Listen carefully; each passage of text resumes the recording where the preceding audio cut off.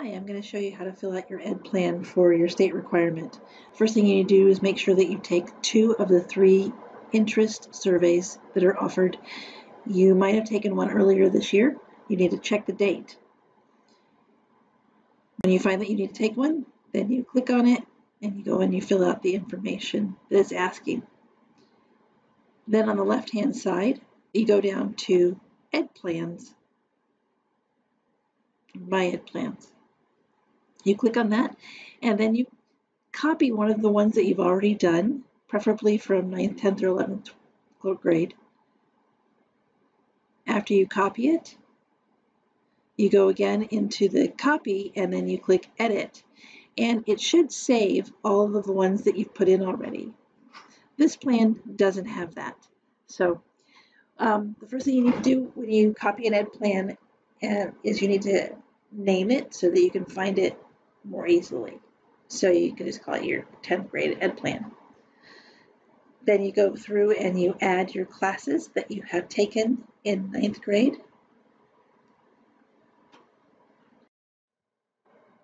In this case, I'm adding algebra,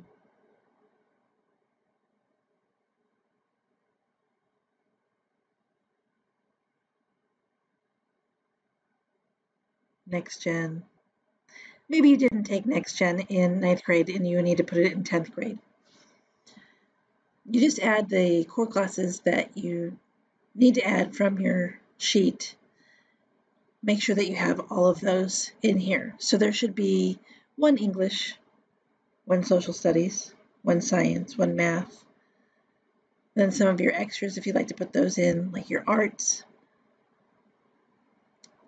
Not everything's in there, like if you look for I don't think ProStart, some of those kind of things are in there, welding. But you want to try to add as many as you can because that's one of the things that you have courses in there. When you're finished with ninth grade, you close it and there's like a drop down and then you open 10th grade and then you do the same thing for 10th grade. Add in your math, add in your social studies, add in your English, etc. Then you go to 11th grade, you do the same thing.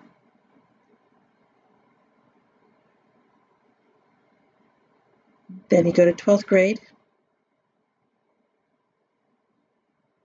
and you do the same thing.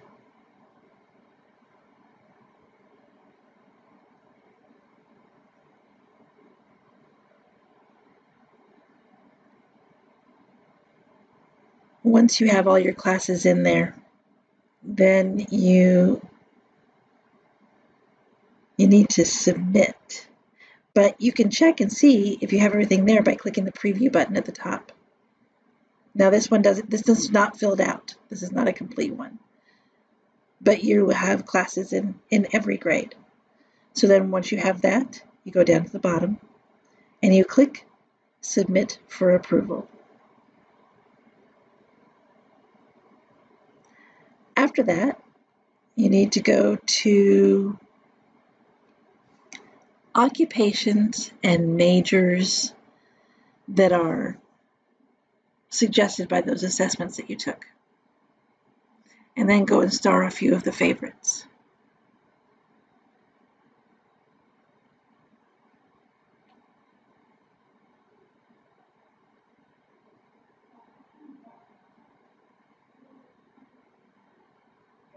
Choose whatever thing that sounds interesting to you.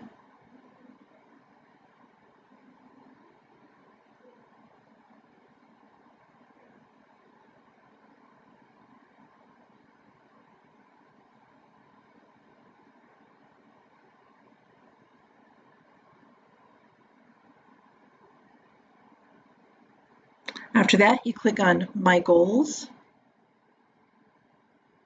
You start a new goal. And you're going to make two goals. So you're going to do one personal goal and one academic goal. So in this case, I put run a marathon. And then the kind of goal it is, it's a personal goal. And I put in the step I would do, like uh, run every day.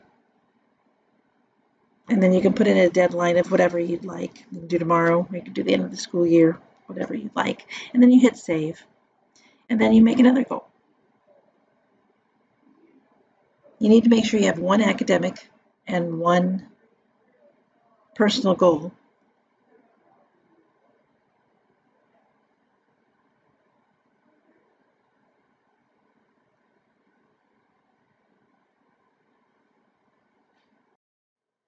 Once you have completed the goal and you've turned in and submitted your education plans and starred those few occupations and majors you'd like to try, then you are finished with your Kuder Navigator for this year.